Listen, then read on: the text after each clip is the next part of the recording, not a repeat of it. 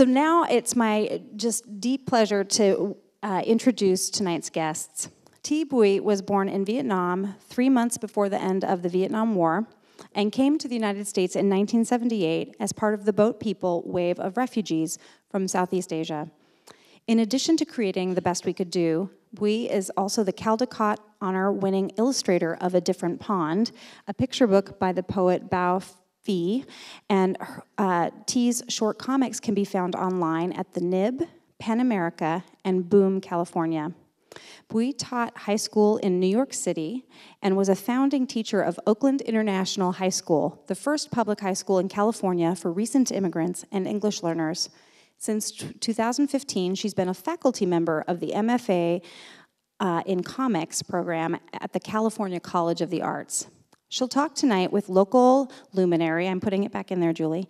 Uh, she'll talk tonight with local luminary Julie Pham. And Julie heads the ION program at Washington Technology Industry Association. With her family, she co owns the Northwest Vietnamese News, the oldest private Vietnamese language newspaper in the Pacific Northwest.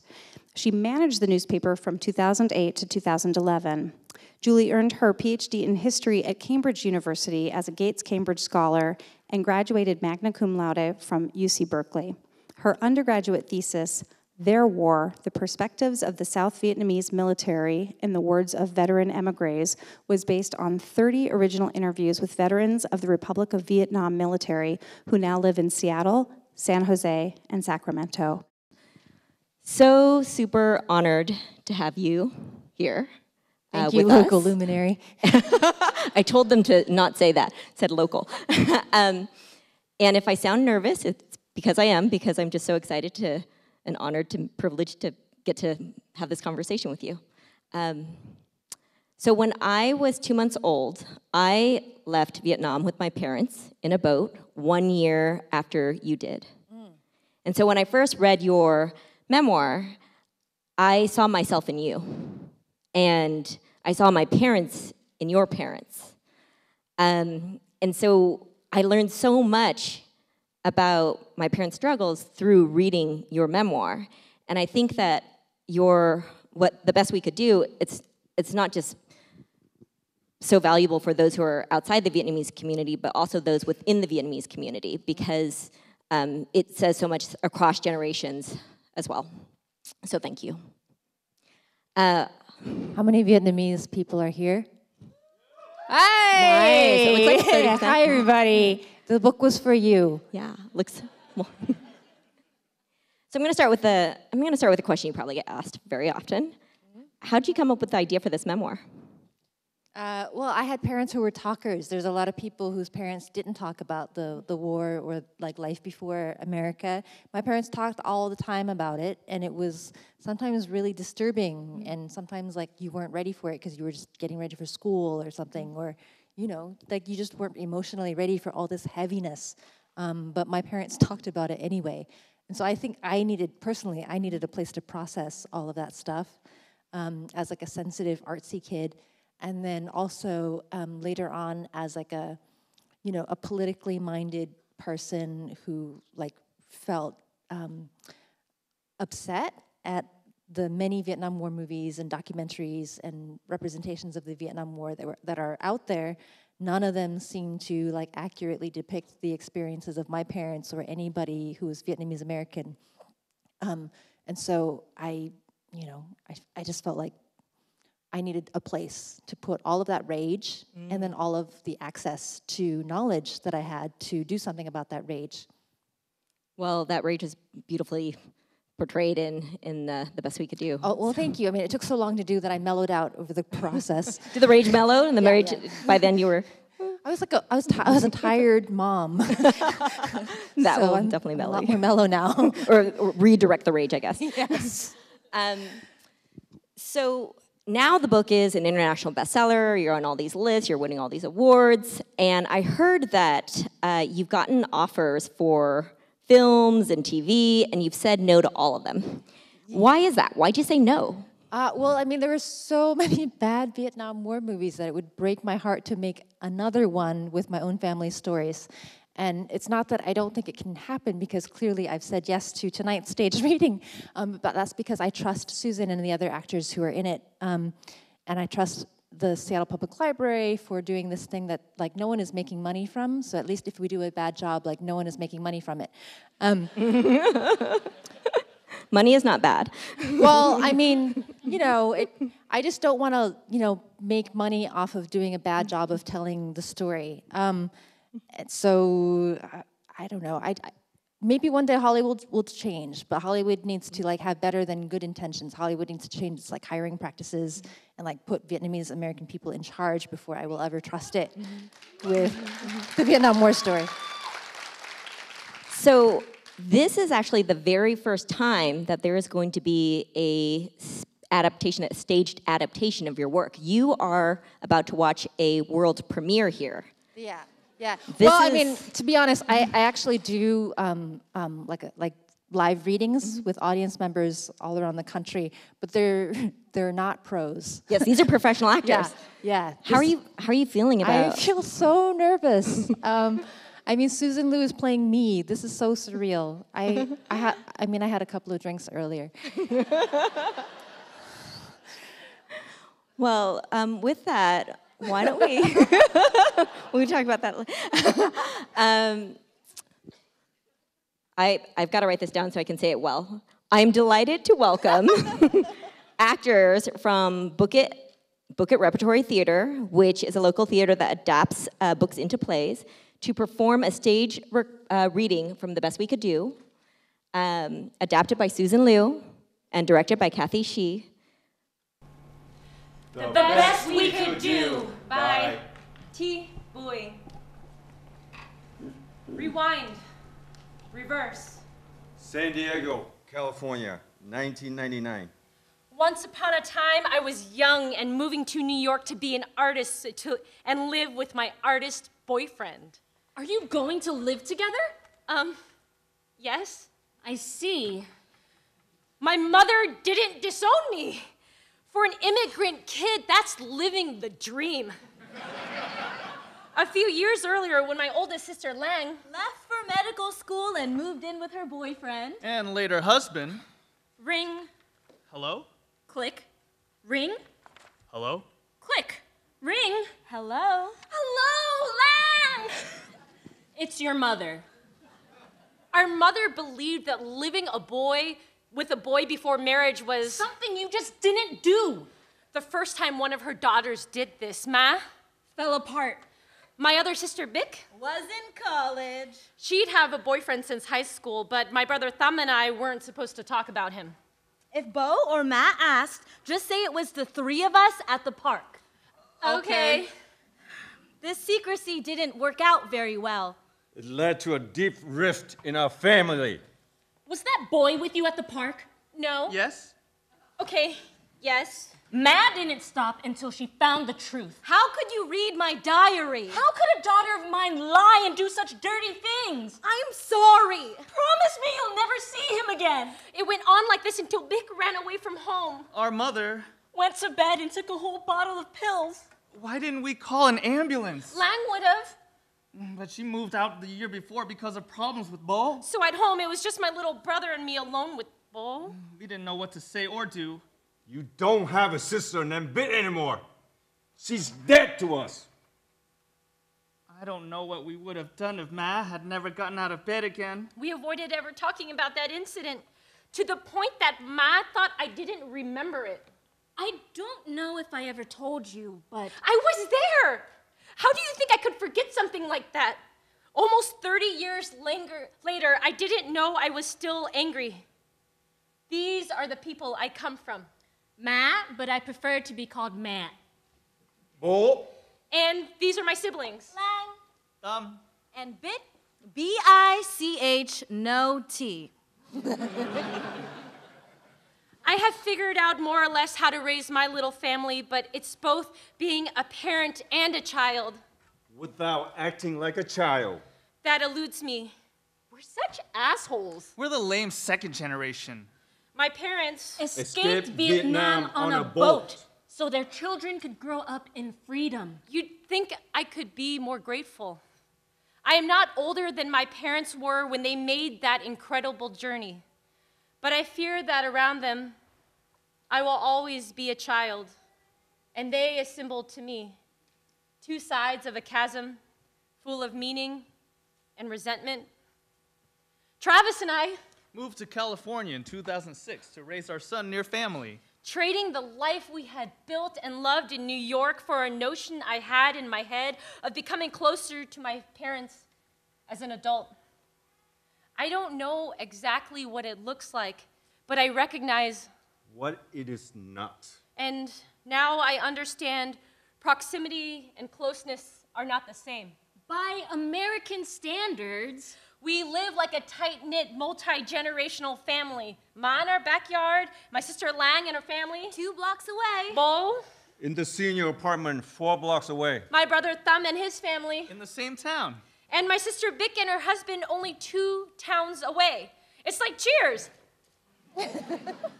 my parents are retired in good health, And free to do as they please. but also still lonely, aging, and Quietly wishing. we'd take better care of them. In Vietnam, they would be considered very old in their 70s. In America, we're people their age, Run marathons? or at least Live independently. My parents are stuck in limbo between two sets of expectations, and I feel guilty. I didn't grow up with my grandparents around. Ma's parents came to the US when I was 12. They lived two hours away with their oldest son, Hai. From that relationship, I learned how to pour tea and give presents, but nothing about. How to be close to my parents. My father always said he had No parents. In my 20s, I learned that my grandfather was still alive in Vietnam and wanted to meet us. Will you go with us, Bo? There's no point.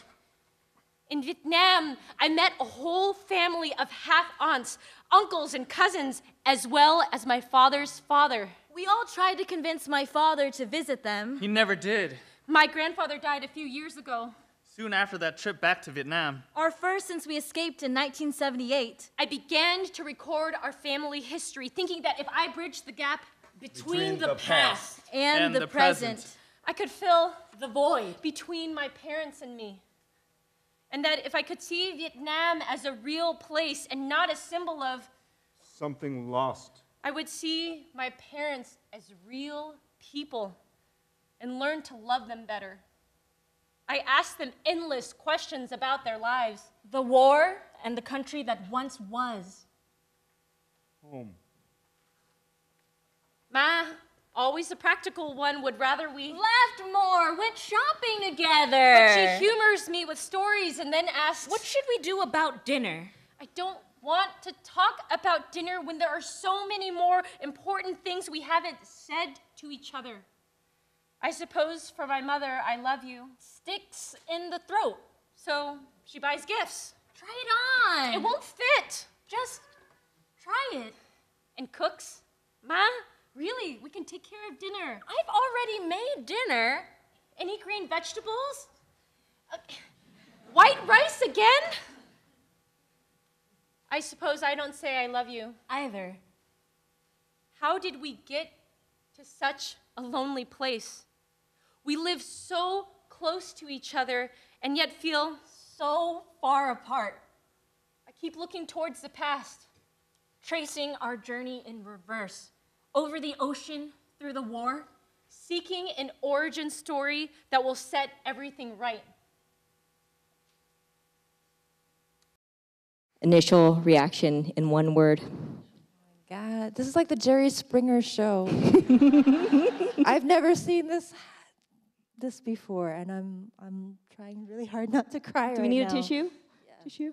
I've got one in my pocket. yeah. All right. This is amazing. Thank you so much. Um, the, what that that excerpt, what really um, stuck out for me was the void, um, and this the that how do you fill the void, and people being so close and yet so far away. And when there's a void um, in our narrative, then uh, I know I do this. I make up stories. I make up stories when my own explanations when there aren't explanations for me. And sometimes those stories are, are also like secrets. So, could you talk about how you went about finding, learning about, discovering these secrets in your family? Um, I I happened upon oral history as a really cool tool for getting my parents to talk to me by telling them that they could help me on a school project.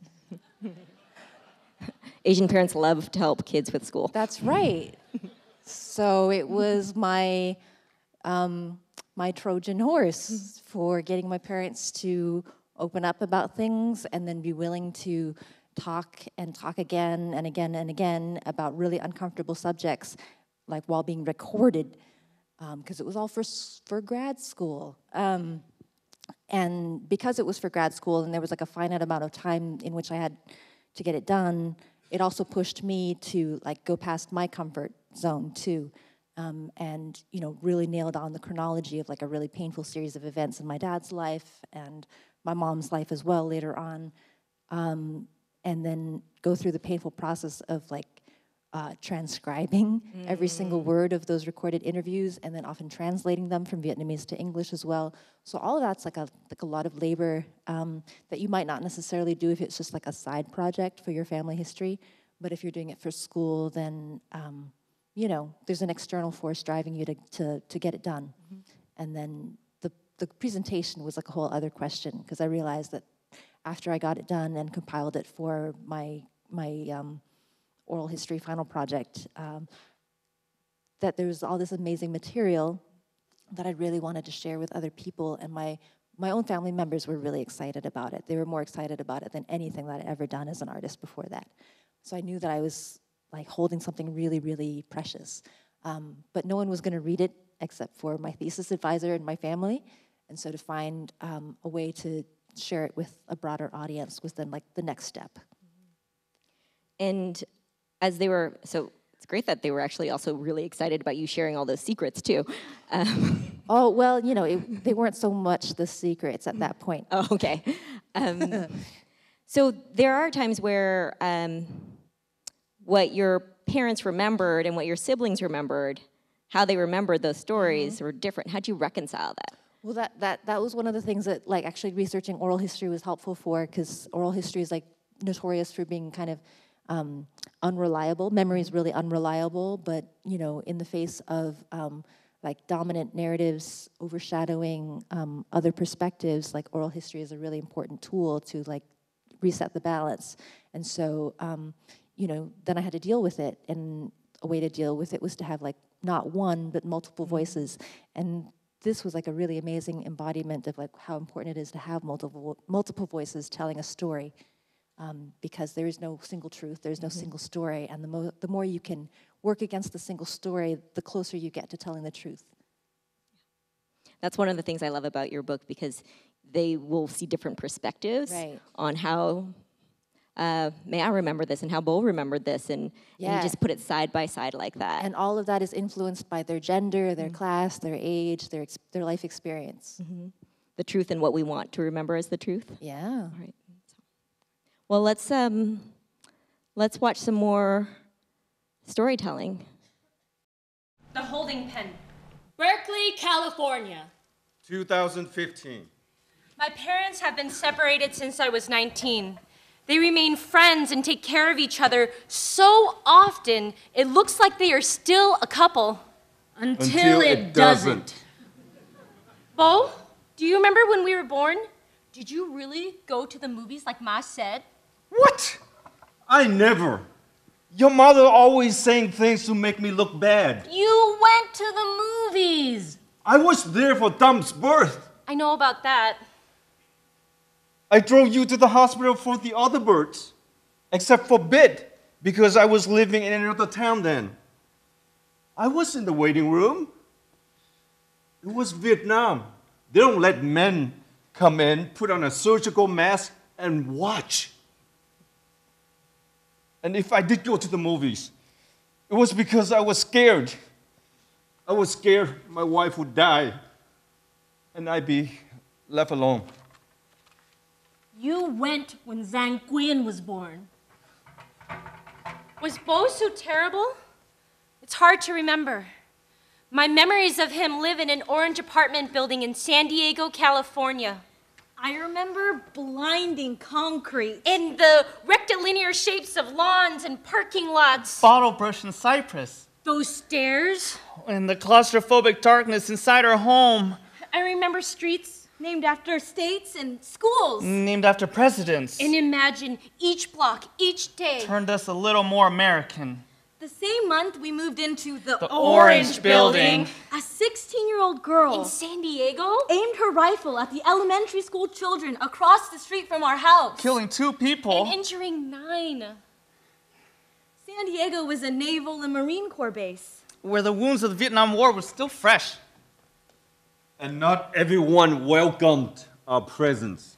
I learned about America mostly through books and TV and from what my sister learned in school. Every morning we have to say, I pledge Pledge allegiance to the flag, one nation, Nation, under God, indivisible. And as though as this induction into Americanhood needed any more nudging, You stupid gook! there were reasons to not want to be anything other. For my parents, Al- already fully formed. In another time and place. to which they could never go back. Home becomes the holding pen for the frustrations and the unexercised demons that had nowhere to go in America's finest city. Any luck with the Board of Ed? It's impossible. They don't recognize our d- degrees here. There's a job at the company where my sister works. It's minimum wage, but it's full time. You'd be putting circuit boards together. That sounds terrible. Fine. Then I'll take it. Okay, Looking back, it was a bad decision for Bo to be the one to stay home with two small children. At the time, I only knew that Ma would be gone before the sun was up, and Tam would be at the window crying if he missed her or if she. Forgot to look up and wave goodbye. My sisters got themselves ready and walked to school on their own, leaving Tam and me alone with Bo. And the TV. I remember he smoked a lot, and sometimes he played with us, and it was good. Wow, five smoke rings in a row. But, but the problem was we never knew when his anger would strike. Vroom, vroom. quiet. Or what sinister thing he would bring home to live with us, Bo? Hung up a new portrait of a woman in a grassy field. And we hide under blankets looking at it, wondering, why is she naked? Is it a ghost? Bo told us scary stories, not to entertain, but to educate. If you hear a voice calling your name that you don't recognize, don't answer it. It is the spirit trying to trick you into opening your mouth to enter your body. Did he know that he terrified us? Knock, knock, knock. We'd all look as the shadows became bigger and bigger on the frosty glass on the front door. Just pretend we're not here. And then Bo would leave the living room, leaving the kids to. Knock, knock. The glass panels in our door, meant to let light into the dark apartment, only made it harder to ignore the shadows outside. Tam would hold his breath till he couldn't hold it any longer, but even his hiding place was fraught with danger. The naked lady's hand would reach for me in the closet. I was never safe. Tam developed the habit of Hiding in the closet for hours, holding my bowel movements and trying not to mess my pants. I conversely became obsessed with the supernatural. I read and reread Bo's books about paraphernalia, studying the pictures until I had memorized every, Every disturbing, disturbing detail. detail. And so, we spent the days. We didn't go outside to play until Lan came home. And then we'd stay out as long as we could. Jumping into Ma's arms was when she got home was the best part. In the evening, we would often watch a movie together. I remember watching The Exorcist when I was five. We, we didn't have restrictions on what we could watch, and we didn't have a bedtime like other children did. In my sleep, I dreamt of how terrible it would be to not find my way home. I never had dreams about flying or thoughts of running away from home. I remember Bo told us about Astral projection. A friend of your uncle's was known to project in his sleep. As a joke, his friends dressed him up while he slept. His spirit didn't recognize his body when it tried to return. Other spirits possessed him. So afterward, it was as if he's gone insane. Bo slept alone in his bed at night and Practiced leaving his body. I practiced being brave. Once I realized I could impress others simply by pretending not to be scared, acting tough became a way to overcome the terror. I'm so thirsty. Me too. But the kitchen's scary in the dark. I'll go. Really? No way. The dead aren't supposed to talk to us. We are on different planes. If we can open a door between worlds, we can also shut it. And I can close my eyes and turn away. If I could close my eyes, I could sleep. And if I could sleep, I could dream. Though my world was small, I would sometimes dream of being free in it. Blood and rice. Me and Bo, we're, We're okay, okay now. now. To stop being scared of him, I grew up. and went away. And now that I've come back, we can sit in my mother's studio, both of us visitors, Neither one owing the other. To understand how my father became the way he was. I had to learn what happened to him as a little boy. It took a long time to learn. The right questions to ask. When I did, The stories pour forth with no beginning or end. anecdotes without shapes, wounds beneath wounds. Shall I begin the story of the pond in Haiphong? In 1951, when Vietnam was still part of French Indochina, my grandfather and great uncle built a street in the northern city of Haiphong. Haiphong was a seaport, the most important in the north, 200 kilometers from the border of China. First, they built the road and named it after themselves. Then they began to dig. They dug the clay for the foundations of houses that they built on small lots. Nine meters long and three meters wide. The more houses they built, The bigger the hole got, rains came and filled the hole. People planted water hyacinth, water spinach, and morning glories, and stocked the pond with shrimp and fish. it was there that Bo taught himself How to swim, My father fished for small shrimp. which were so plentiful. One morning, his grandparents' deck were covered with Hundreds of shrimp that had crawled up during the night. a fabric dyer moved into one of the houses. Eventually, the dyes he poured into the water Killed all the pond life, and there was no more fishing. Each of Bo's stories about childhood has a different shape, but all the same ending. When Bo was two, Bo got very sick. What's wrong with him now? He's burning up and he has boils all over his body. Keep him on wet leaves and keep changing them. He could die out here. The jungle is no place for a child. We'll have to go back to the city. War caused shortages and inflation. While the people had less to eat, the French and Japanese army hoarded the rice and even burnt it as fuel for trains when oil was scarce.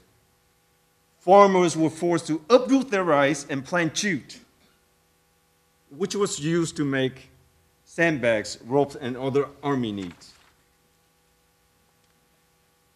I remember waiting all day for food. Dinner, water spinach.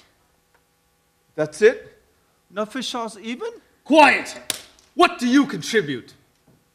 Every once in a while, my mother would scrape together a few cents and run out and buy a blood sausage. Just a small piece, wrapped in banana leaf. She sneaked home Crawl under the cover of the bed curtains, and called to me. She lowered the curtains. and we'd eat in secret. Just my mother and me. When I was five, my father fell in love with a neighbor, pretty, at the end of the street. Why do you always leave us? Stay out of my business! And then, One night, Bo watched as his father beat his mother badly. and threw her out. That was the last time Bo ever saw his mother. This was in 1945, at the height of the famine. Where did she go? How did she survive? The dead pile up in doorways, having sought them a place to rest at night. By day, they were hauled away on open carts. The family disbanded. My father and grandfather, each focused on his own survival, went separate ways Bo's father joined the Viet Minh. because they would feed him. In Loidong, under his grandmother's protection, Bo escaped starvation. But many others still suffered. Bo's father came only to announce his departure. I'm off to fight for the revolution. Where's my son? Tell my boy to come here. Here, Papa. Bo's father kicked Bo square in the stomach, throwing him onto the floor. You're not my papa. And in the dark apartment in San Diego, I grew up with the terrified boy who would become my father. Afraid of my father, craving safety and comfort, I had no idea that the terror I felt was only the long shadow of his own. When I was working on this book, he visited my studio and I showed him a drawing of his childhood. Hmm. You know how it was for me. And why later I wouldn't be so normal. when I first read your book, and I kept thinking, she experienced that too. Wow, that happened to her too. Even there was that the the scene with the creepy neighbor, right? For the and and the way that our parents tried to express love um, in a way that's so different from what looked like on TV um, and just all the stories that we'd come up with with our siblings. And reading your book, I just felt I'm not alone.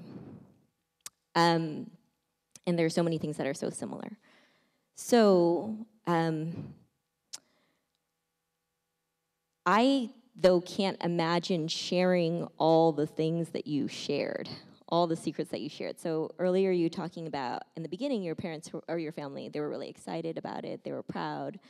And um, what did they, how, when, when it was clear that you were going to have to share stuff that was really, that could bring shame, or at least that's the way I would look at it, um, how did they feel about Did you hesitate? First of all, did you hesitate? And then how did you go about getting their, their permission slash blessing for sharing those secrets, those family secrets? Um, I, I guess I should uh, make it clear for everybody that it took me over 10 years to get this sucker done. And part of that was, you know, the learning curve and, you know, teaching and raising a kid at the same time. But the other was fear of doing further violence, right? Um, and like, although I was doing it for school and that helped, um, my thesis advisor was also a very conscientious, politically minded person who would quote Edward Said to me and say, all forms of representation are violent, which didn't help. um, I, was, I was really paralyzed with fear. And I think it was actually when I gave birth to my son that I went through something very real and very concrete that was like scary, but you, you have to get the baby out, right? Like it doesn't go back in, it can't stay there. And, and so I got the baby out, and I figured, well, if I can get the baby out, I can get the book out. and that was Another baby. that. Yes. Um, right. So it was like, like life taught me that like sometimes you can do stuff that you're not prepared to do, and that taught me what my parents went through. Like it's not you know, I don't think it was ever in their life plan to like uproot themselves and throw their lives and their children's lives to the wind and take this huge risk and go in a boat illegally to another country and then like, you know, start new lives on the other side of the world. But they did it. Um, so I guess it was it was all part of that same trajectory. Was it easier for you to get acceptance from one parent over the other, or from some siblings and not? Or is it depending on what you shared, or were they, I mean, how did that, as you kind of start to share pieces of the work with them? Um, my, my father was a, was a big collaborator. Um, and he was, of course, you know, the one who stood to lose the most because he's not um, portrayed in the most flattering way at all times. But I think that he gets it in, in that, like, he's, he's been reading, he's been like sorting his affairs and getting ready for the long goodbye for probably the last 30 years.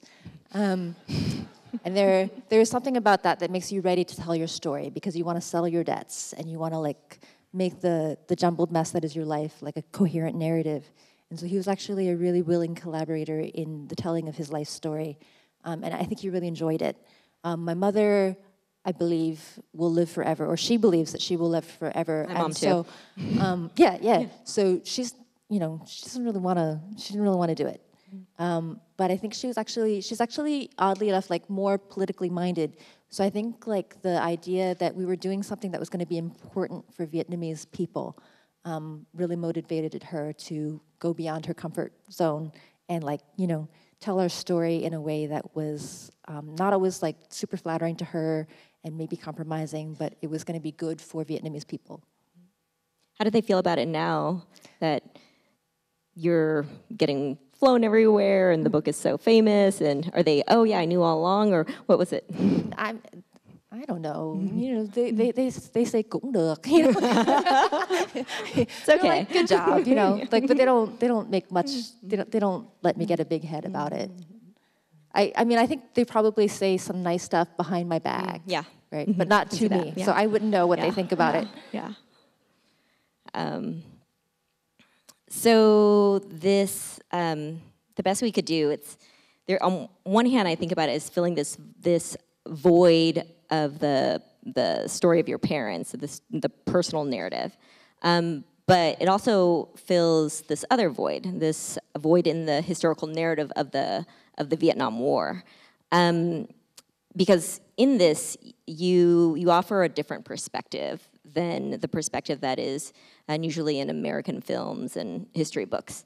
Um, and I think that the next excerpt gets that really well.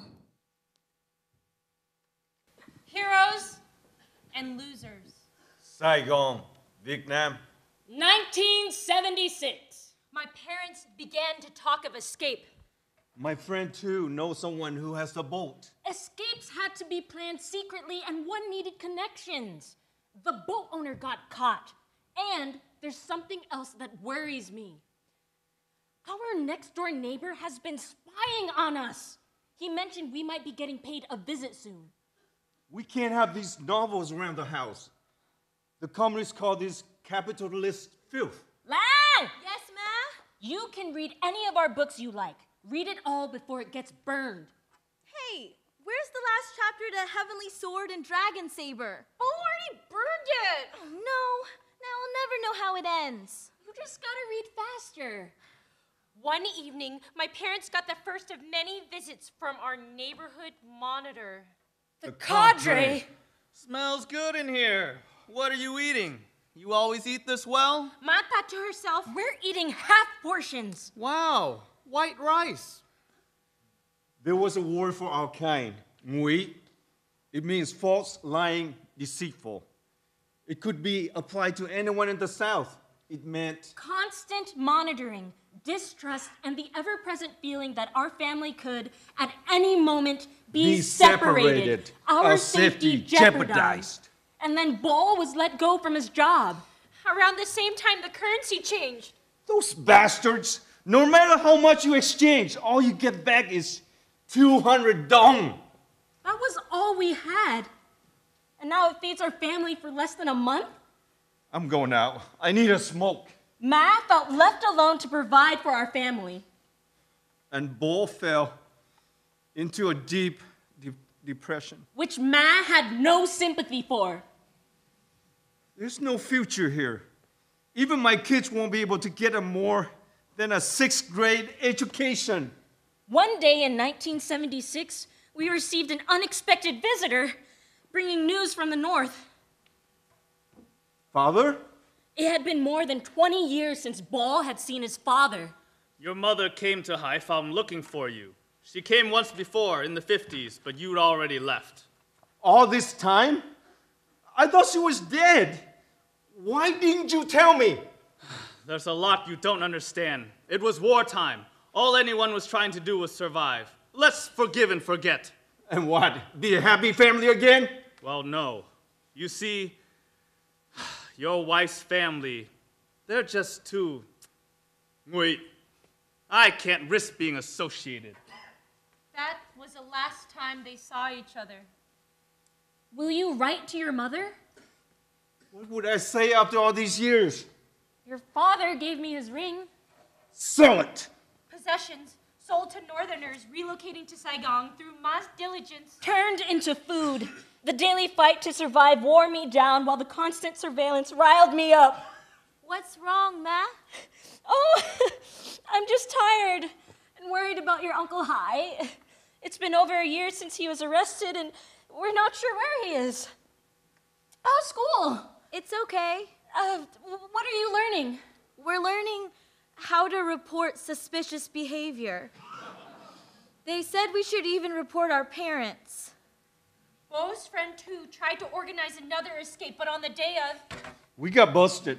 Our scouts never show up. Ma was running out of things to sell. Bo's grandmother was very old and sick. And to complicate matters more, I'm pregnant. New family planning laws require Ma to get an abortion. But Ma, Remembered her two lost babies. the doctor took pity. You don't want to do this, do you? I'll say it would be dangerous to your health. Thank you. Just as the future seemed impossible, Another, chance, opened up. Hang! Wait up! Gil, is anything wrong? Gil was the wife of Ma's brother, Hai. It's not my brother, is it? No, Hai is alive. They finally let me see him. It is something else. Can you come by the house tonight? Uh, Hai's in laws had found a boat for sale and wanted to escape the country. Matt? knew a person with enough money to buy it. The in laws would sell places on the boat and repay the investor. For her role as an in between. Ma would receive a space for us, for all of us on the boat. What about your grandmother? She's all alone now. There's no way she'll survive the trip at sea. And what if she cries and gets us all caught? We can't even tell her we're going. We arranged for my parents to look after her. Gas and food were brought and snuck, snuck on the boat a little at a time. Spaces on the boat were bought in gold bars or promises of repayment. And finally, in March of 1978, My brother Hai was released from prison. We leave next week. Are you in or out? by then, Ma was eight months pregnant. What choice do we have? We packed our papers and one change of clothes for each of us. In the middle of the night, we woke up the children to go.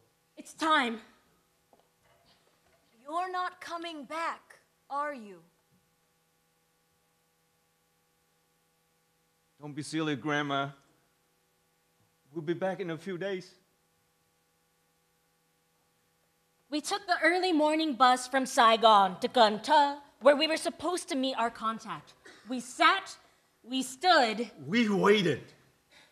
He, He was, was very, very late. late. Finally, at dusk, we arrived at the dock, where the boat and the rest of the passengers were anxiously waiting for us. At last. I was worried we'd have to leave without you. Hi, I'm so glad to see you. Go on down and get settled. Nam, can I show you something?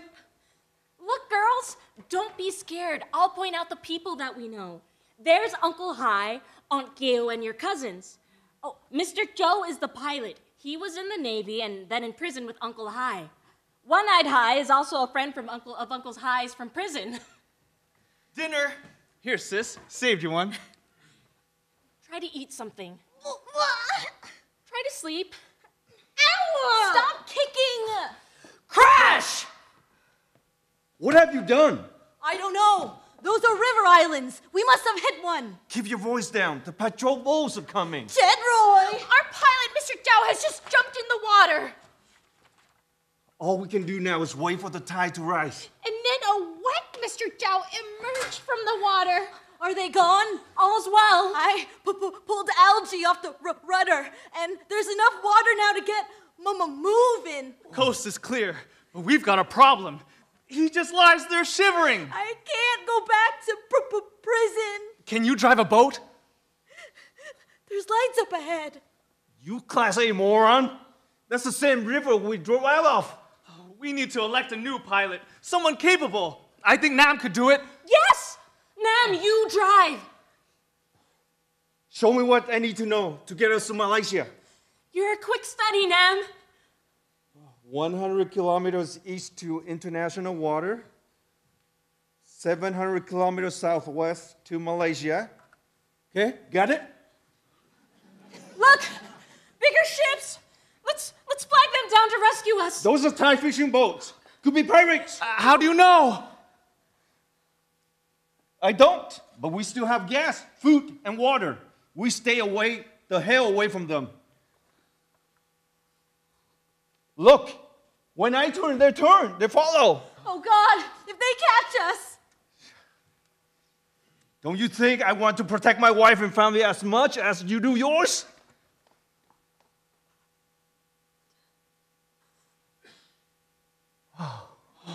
Nam, you did it. They're not following us anymore. Water. Lan, go get some water for yourself and your sister. Lan walks over to the water tank, drank it, and then threw up all over the floor. Keep it down. We're trying to keep the boat running over here. I don't feel good about pouring fuel near a flame. We could turn it off first. Yeah, okay. Now we light it up, I guess. What's going on? Why's the engine off? I'll try to give us pointing south. But hurry up! Try again. Bo's compass starts to spin. Oh shit! Bo steered the boat in a safe direction. And then Uncle Hai pulled the hatch to the bottom deck open. Whew. Air! Thank God! It's night. We can leave this cover off. Lan, look. Oh, it's the belt of Orion. Keep your eyes on it and you'll feel less sick.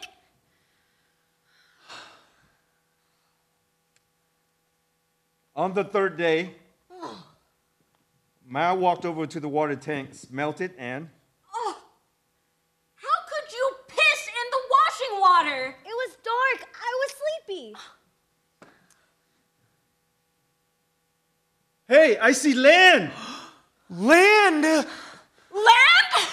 We're close to land! I've been saving these, but now I can make you lemonade to give us a little energy and to celebrate. Fishermen, they're leading us to shore. They're signaling to us. Light a lantern. Everybody, get ready! We're almost at the shore! And then an oar hit Bo's body and he fell into the sea. But he was lucky because he knew how to swim. He arrived to shore and guns were all pointing to his head. Uh, I am Vietnamese from boat. They're letting us land! We reached Malaysia! Lad, get ready to go. Don't lose your shoes.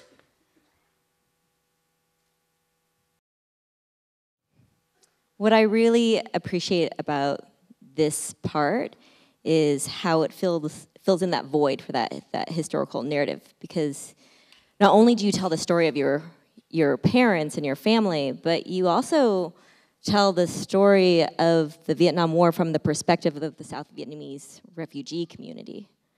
Um, I remember when I was studying history uh, and reading about the Vietnam War, and what I saw was, oh, the Vietnam War is between Vietnamese and Americans. Hmm, but the Vietnamese, they're only talking about the communists.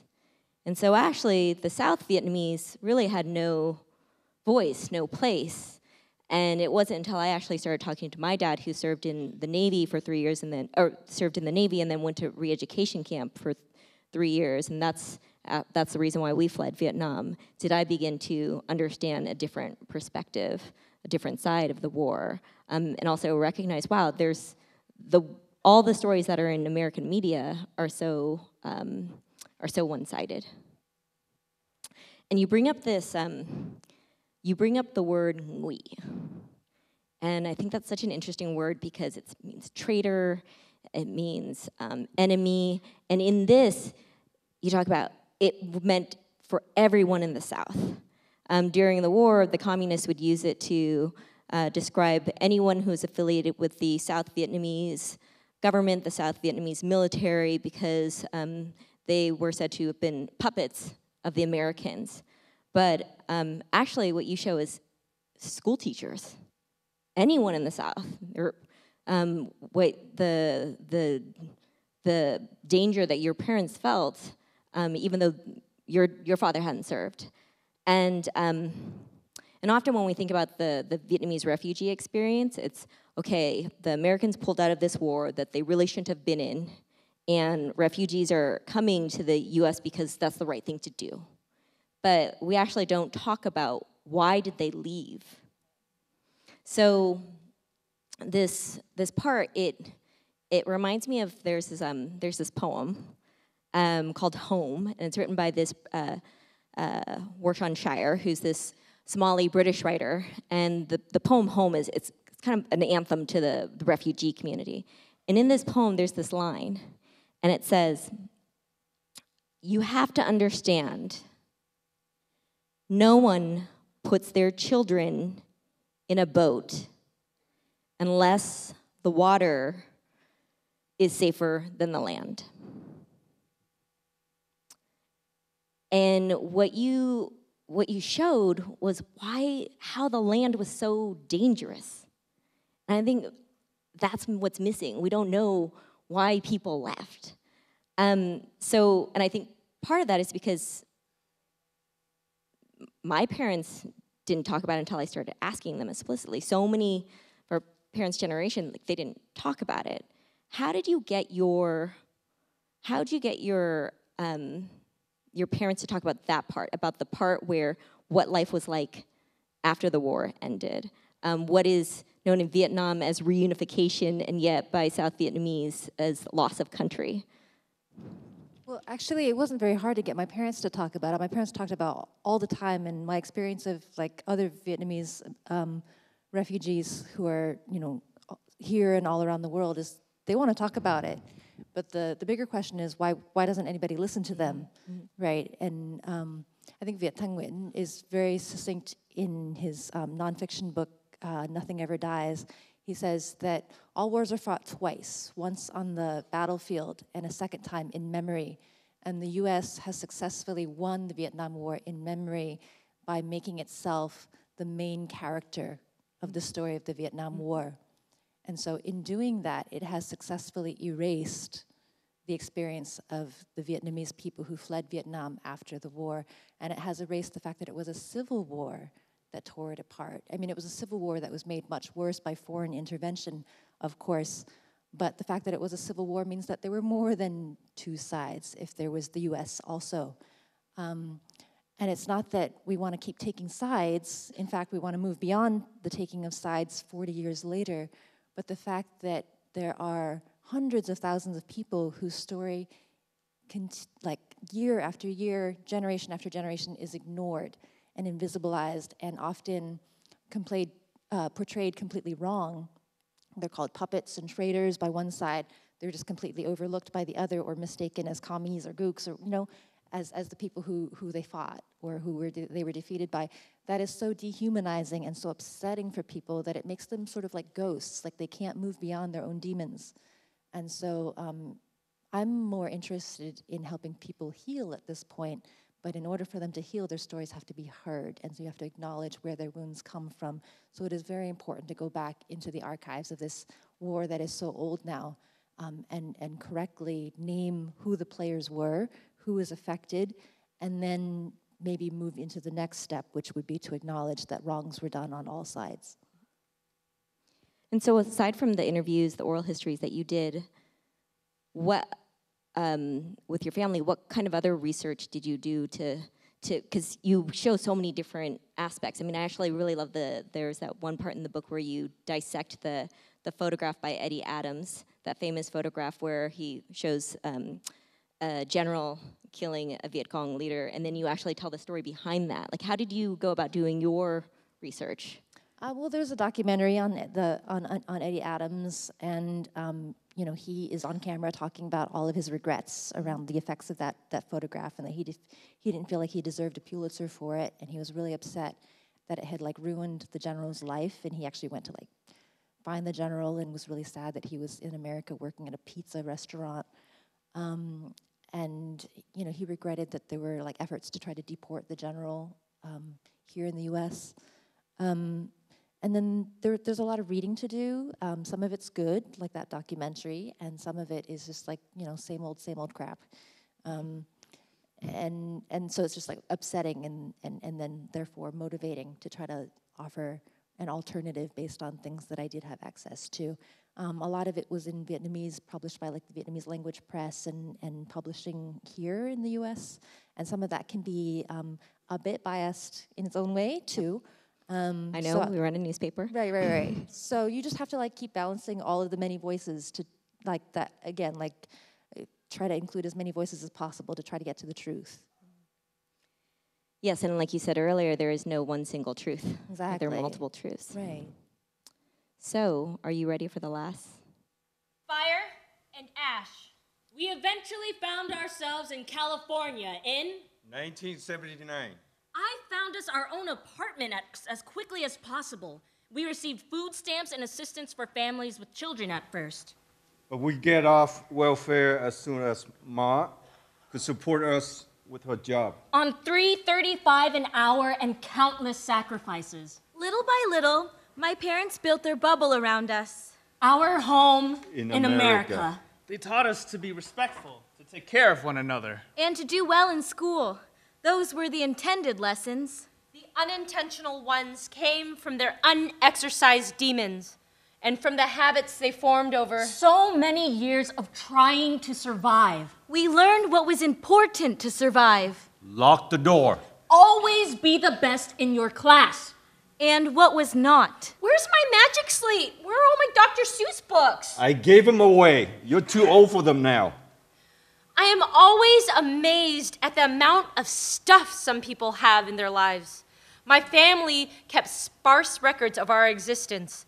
Our most important possession was this unassuming brown file folder in which my parents placed The most essential pieces of our identity our birth certificates, translated and notarized, our green cards, and our social security cards. When we began school, we were each given a brown folder of our own.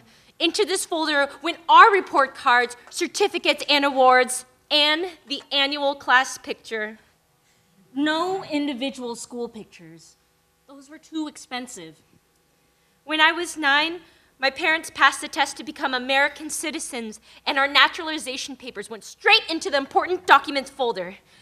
Eventually, Lan's folder reached capacity, and the awards became Wooden plaques and shiny trophies. that adorned her bedroom. By the time Lang graduated high school and went to college, Ma had acquired her own certificates. Piecing together lunchtime workshops and night courses. To build up the career she had begun on the assembly line at $3 an hour. Han, you're such a good student. Would you stay on as a teaching assistant next term? What do you think? It means I have to keep driving you at night. I have my license. It's different here. You won't be able to do it. I can drive. You know, you could use the course credits I earn and learn and study something you like. Bo tried his hand at graphic design while Ma continued courses in mathematical drafting. I loved looking at the drawings they each made, but what I loved more were the nights when they were at school because Lan would come home from college to watch us. I remember two kinds of spaghetti Wow, meat sauce and squash and mushrooms! and bedtime stories from the Iliad.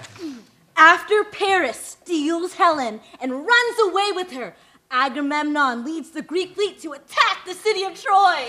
I'd lie there savoring the luxury of spending time together, the marvel of being told stories in bed, and the curious freedom of being home without our parents. Mm-hmm. One night when I was 14, T, do you want to watch a movie? Bo rented Die Hard. okay, It was that. that's why my parents happened to be at home. Crash! The normal response might have been to go to see what was happening. Ours was immediately lock the door. And rush to the bedroom to hide. But then, Boom! What would a normal 14 year old response have been? Some kind of freak out, maybe? All I know is a switch flipped in my brain and I acted purely by reflex. Evacuate. I grabbed the important brown documents folder, wet a rag, put on my shoes, gave the folder to Bo, covered my nose with a rag, and walked out of the apartment building to a scene of oncoming fire trucks. The fire had started downstairs. The old couple, smokers with emphysema, fell asleep with a lit cigarette. Their oxygen tanks exploded. This is a night I learned what my parents have been preparing me for my whole life. That not any particular piece of Vietnamese culture is my inheritance, but the inexplicable need and extraordinary ability to run when shit hits the fan. my refugee reflex.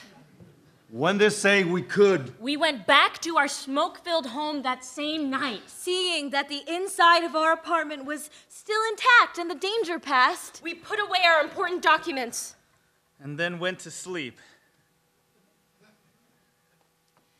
Ebb and flow.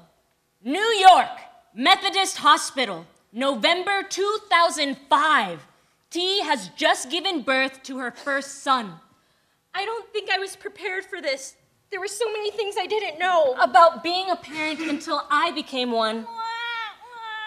I, I didn't believe that babies actually ate every two hours, sometimes more, both day and night, that no matter How natural it may seem, it is not easy to feed a baby from your breast. Ow! That, that sometimes it takes three people to wrestle your baby into place. I've got his legs. I, ow! Yeah, I need to change his grip on me. I'll help you move his head. That indifferences to my struggle could cause me to feel so helpless and alone. Are we done yet? The ba-. Baby's due for a checkup. I didn't know about jaundice. What does she mean our baby is yellow? He's half Asian? or that they would keep my baby in the hospital and discharge me? Phototherapy will help, but the more fluids he passes through him, the more toxins he can flush out. It needs to be mother's milk or a formula. I'll nurse him how long? It's hard to say. I thought about the mortality of my infant son. Ma, what was it like when Zhang Guing was sick in the hospital? I mean, at the end? I remember they had her in a sealed box, like an incubator to help her breathe. She slept most of the time because she was so weak. But suddenly she woke up, and when she saw me, her face lit up with a smile. It was like she was making me a gift of our last moment together. My mother and I hugged about the daughter she lost. My sister I never knew. Travis and I rented a room across the street from the hospital. He set the alarm so we, Would sleep in 90 minute intervals. rising to slip on our coats and shuffle across the street. Let's walk faster to warm up. I can't. My stitches. Oh, right. Sorry. Feed our baby as best as we could in the 20 minutes allowed. And return to our room to repeat the process over and over. That first week of parenting was the hardest week of my life, and the only time I ever felt called upon to be called heroic. However much my body wanted to rest, a force pulled me onto my feet with a clear and simple directive Keep him alive. When the hospital finally released our son, it still too, took both of us. Holding him down to get him to nurse. In the last moments at the hospital, I waited for Travis to get the car. The lactation consultant gently asked me, One last try? Well, okay. Great. Here's how it works sweater off, pillow strap on, baby wraps off, breast out, and. Baby! Latches! I'll leave the two of you alone. Alone with my son and feeling competent about it. For the first time, I relaxed and I started to speak to him. Mẹ nè. Child, It's Mother, I could hear, echoes of my mother's voice speaking to me in my own childhood. but I could feel the voice coming from my own throat. As a child, I thought my mother's voice was beautiful. She Hated it. but I loved its raspiness. Min sup di ve, We are about to go home.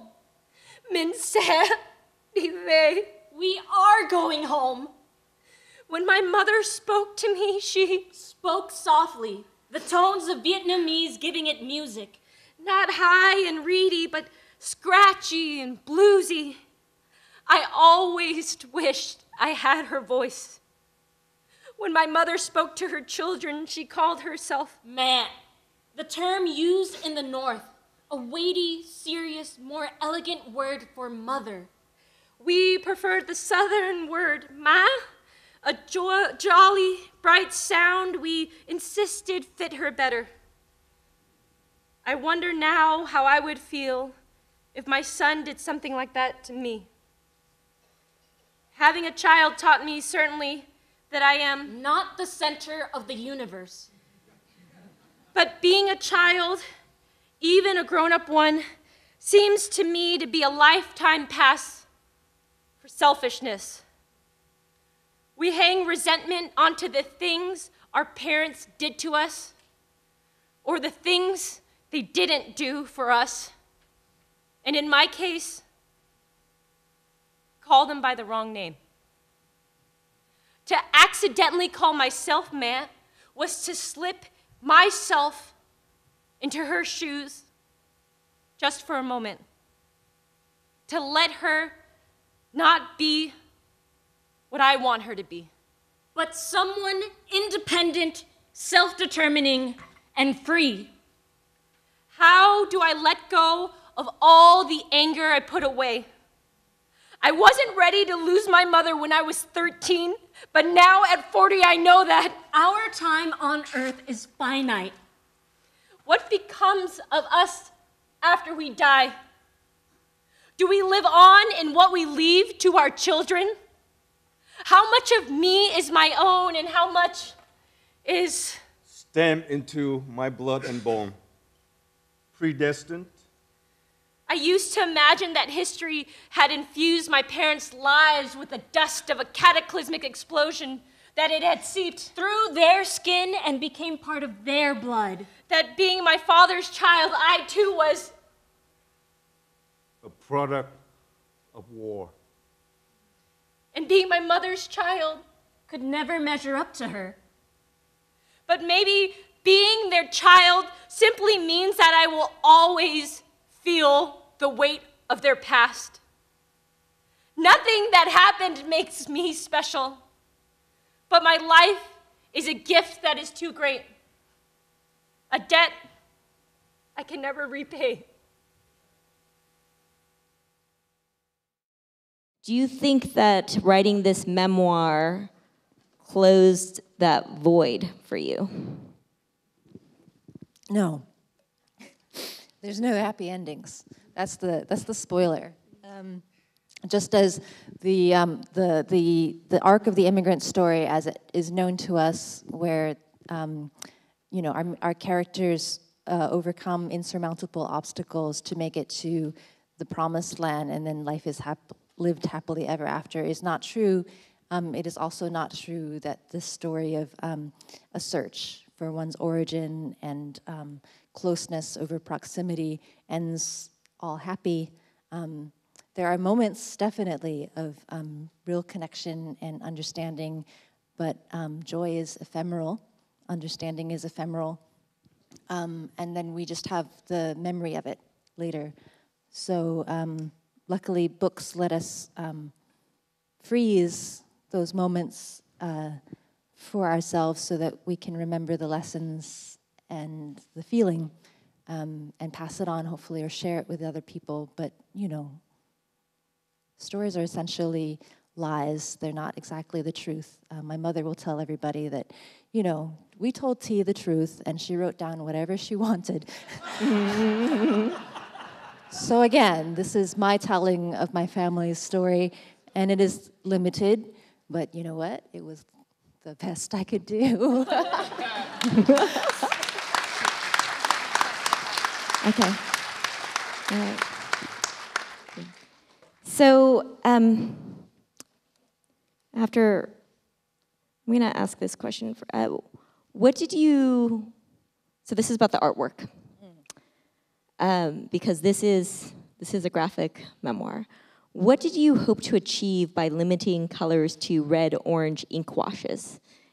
Um, what is the color scheme guiding us to? Um, I'm, I'm, I'm just going to rip off the veil of like, um, you know, symbolism and stuff and just reveal that it's cheap to. Practical? yes, I'm, I mean, I'm a refugee, right? So, like, the refugee reflex? also, I had to stay within budget. Like, the, the book was budgeted for black and white. And then um, I asked the publisher halfway through the process if I could have any color. And I was like, I learned about duotone, and I was like, could we do duotone? And they did some research into how much it would cost. And they came back and said, you can afford one color. Um, so I had to, you know, I went through the entire Pantone uncoated library and I found um, a few different things that I tested out on like different shades of white paper. And I found like the right shade of like warm, um, sunny afternoons in Sa- San Diego, the orange apartment building, the color of um, old Kodak prints from the 1970s and 80s that are starting to fade. It's the Yeah. color of nostalgia for me. It's actually, as you say, it kind of reminds, I'm thinking of that, almost that sepia, Yeah. just a little warmer than sepia. Okay, so this is a long question. Um, in your book, you discussed going back to your parents about the war and their stance on it, which was confusing for you. Have you made any new developments on your stance on the war? I ask this because as a Vietnamese American teenager trying to find my identity, that is made more confusing with media and school portrayals of the war, um, I don't know what to believe. Additionally, any tips on how to talk about the war and refugee experience with parents that are afraid of exposing me to it, to fill the void? Um, read widely. Um, do more than watch the Ken Burns documentary. Um, also, take everything with a grain of salt because experience is limited and um, it was a highly divisive war. People had to take sides, often because of circumstances that really didn't have much to do with their actual beliefs. Um, and just understand that it was a complicated situation. People, um, people fought their brothers. Um, people switched sides. Um, people were just trying to survive and often didn't take sides but had to. Um, and then also people were hurt. And even if, um, you know, we have the luxury now of looking back and, you know, taking intellectual sides, people then didn't, and they also suffered. And so their wounds are real. And that's something that I have to remember when I talk to people who experience the war from different um, perspectives than my own, is that I have to respect that their wounds are real, even if their political stance is not like my own. Um, and I think that respect will help us do a better job of listening to each other's stories. And I hope that that actually extends to the Vietnamese government now. Um, I'm actually trying to get the, Viet- the, the best we could do translated and published in Vietnam. Um, but it's difficult because um, there are pages that the government would like to censor, but they don't know how to do that with a graphic novel.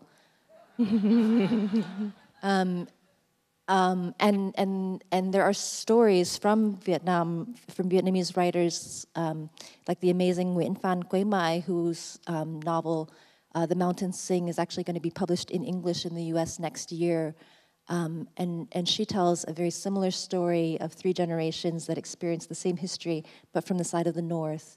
I read it in an early draft, and I cried and cried and cried, and we wrote to each other about how, why we hadn't heard these stories from each other before. She grew up not knowing that there had been refugees leaving Vietnam, and the first time she encountered books from the diaspora, she didn't believe them because she had never been exposed to them and she just believed that they were probably US propaganda. But slowly over time, as she was exposed to more and more stories, she realized, oh, these are actual real stories that I just never knew were real.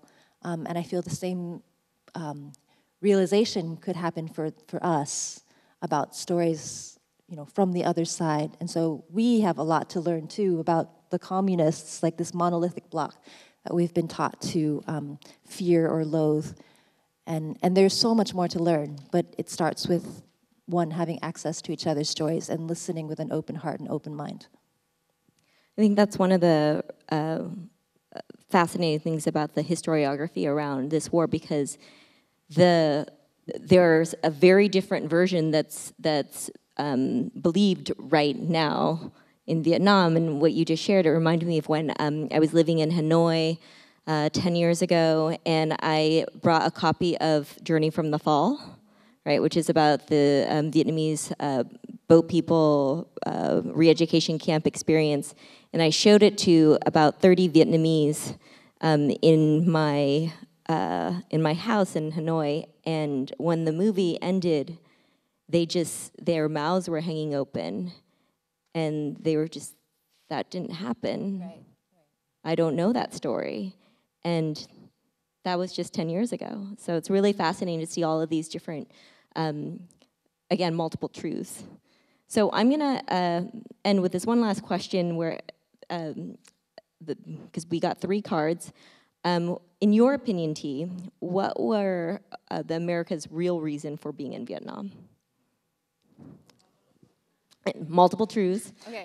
uh, well, I mean, um, the U.S. President Dwight D. Eisenhower, I talked about, you know, the the rise of communism and the idea that like if if one country fell, like many countries around it would fall to like the rising tide of communism, and um, the the West had like you know economic reasons to want to keep those markets open to it. Like this is all this is all documented. So I, I don't, you know, I mean, I think like the real reason is is like it's recorded, and then the reasons that we're told is something about freedom and stuff. So we just have to read, right, and pay attention to history. Thank you.